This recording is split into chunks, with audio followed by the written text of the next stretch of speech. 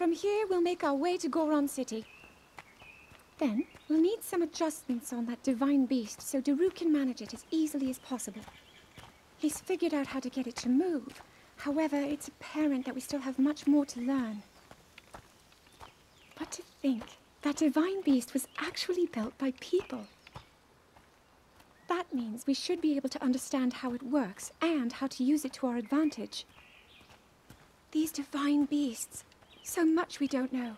But if we want to turn back Calamity Ganon, they're our best hope.